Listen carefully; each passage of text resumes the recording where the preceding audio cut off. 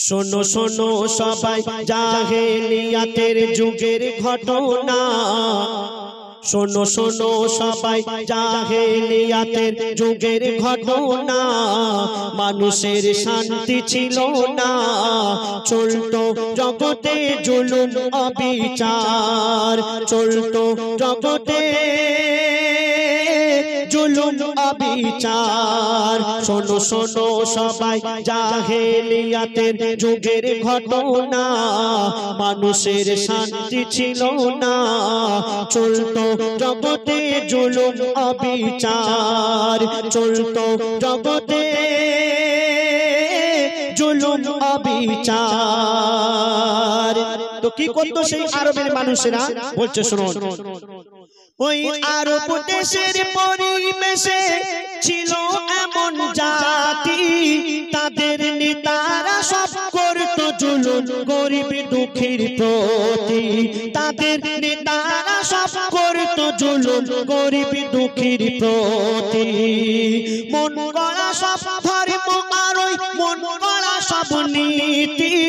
খুন ধরে জানি, চলতো দিবারাতি। খুন জানি, চলতো দিবারাতি। নারীদের নিরাপত্তা বলে কিছুই ছিল না। নারীদের রেখাই পেত না। নারীদের নিরাপত্তা বলে কিছুই ছিল না। নারীরা রেখাই পেত না। নারীদের ছিল না কিছুই বলার অধিকার। নারীদের ছিল না কিছু বলার অধিকার। কি হতো? কি হতো বলছে দেখুন? কোন পুরুষ মানুষ মারা গেলে, কোন পুরুষ মানুষ মারা গেলে সবাই জমা হতো। স্বামীর চিতায় জানতো বিধবাকে ফেলে দিত। স্বামীর চিতায় জানতো বিধবাকে ফেলে দিত। আর জন্মালে গো কারও ছেলে ও গো জন্মালে গো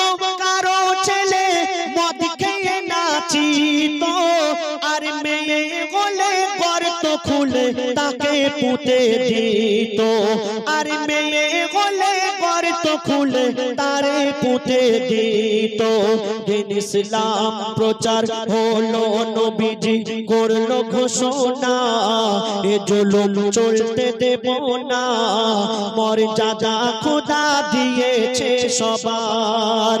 মর্যাদা খোদা দিয়েছে সবার। শোনো শোনো সবাই জাহেলিয়াতের যুগের ঘটনা। মানুষের শান্তি ছিল না।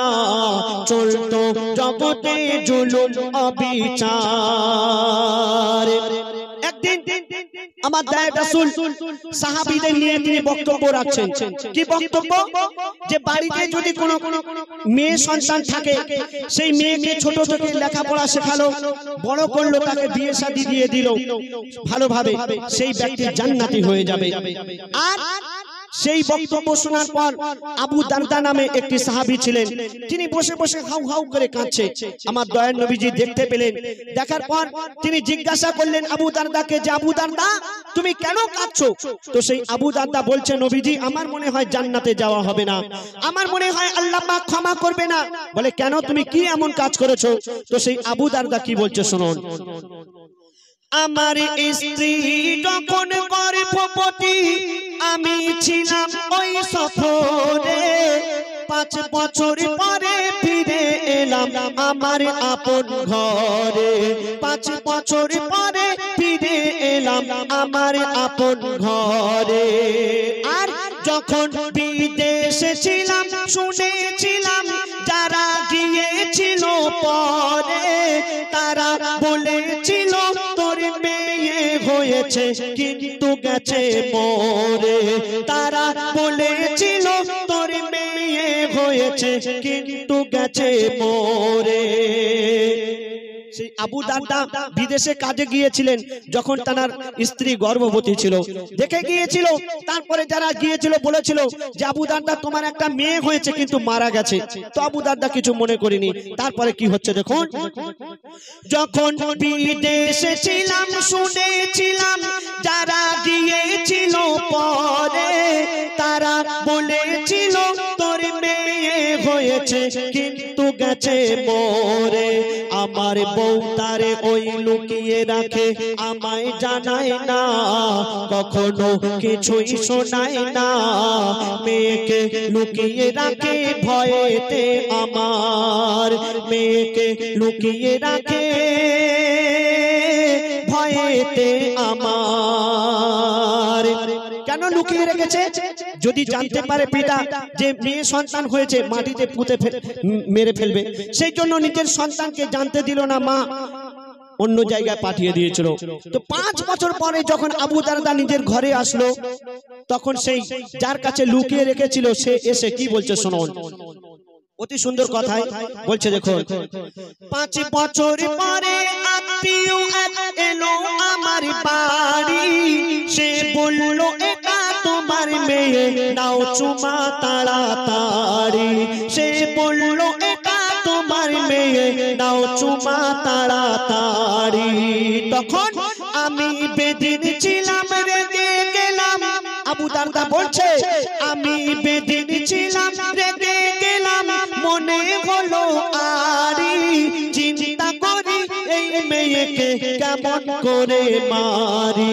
চিন্তা করি এই মেয়েকে কেমন করে মারি? ফোনটি করি, ঘুরতে যাব বলে নিয়ে যায়। ও গো ফোনটি করি, ঘুরতে যাব বলে নিয়ে যায়। গিয়ে এক নিরালায় দাঁড়ায়। ওই মেয়ে বলে, হাঁটবো কত আর? ওই মেয়ে বলে কত আর আরবের বুকে বালির পাহাড়, বালির রাস্তা হেঁটে হেঁটে যাচ্ছে গরমের সময়। গা দিয়ে ঘাম ঝরছে, কষ্ট হচ্ছে, বাচ্চা মেয়ে। সহ্য করতে পারছে না। বলছে, আব্বা, আর কত হাঁটবো? আমি আর পাচ্ছি না। তো আব্বা বলল, আবু দাদা বলল, আর হাঁটতে হবে না, আমরা এসে গেছি। তো কি হচ্ছে দেখুন? সেই আবু দাদা মেয়েকে মেরে ফেলার জন্য মাটি খুলছে। মাটি খুলছে বালি তুলছে। তো মেয়ে বলছে আব্বাকে যে আব্বা কি তুমি খুঁজছো? এখানে কি তোমার হারিয়ে গেছে? এই ফাঁকা মাঠে তুমি খুঁজছো? আর কি হচ্ছে দেখুন? আমি গর্ত যখন খুলি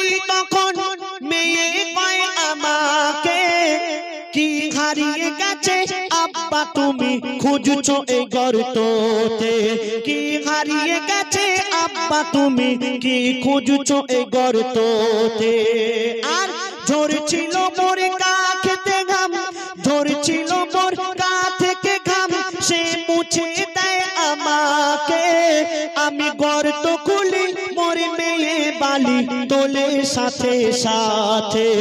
আমি গর্ত খুলি মোর মেয়ে বালি তোলে সাথে সাথে, তারে ফেলে দেব, মেরে দেব, সে বুঝতে পারে না। তারে ফেলে দেব, মেরে দেব, সে বুঝতে পারে না। বিশ্বাস করে না, আমি দিই ফেলে আর তারে তুলি না।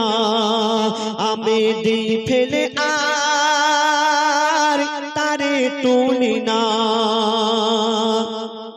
ঘটনা বলতে বলতে বলতে বলতে সেই আবু দাদা অনেক অঝর ঝরনে কাঁদছে।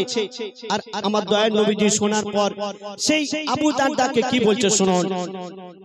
মোর দয়ার নবী সব শুনে, আর কে কেঁদে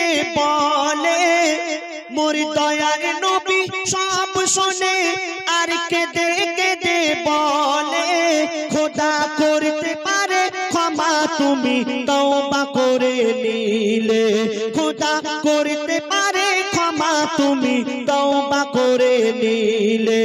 ওই আবু তার মাথা ঠোকে, ওই আবু তার মাথা ঠোকে, খুন ঝরে তাই কপালে। কবি আসিস বলে, কি হতো দিন ইসলাম না আসিলে, কবি আসিন বলে কি হতো দিন? ইসলাম না আসিলে, মোর দয়ার নবী বারে বারে করল ঘোষণা। মেয়েকে বোঝাবে বোনা, মোর দয়ার নবী বারে বারে করল ঘোষণা।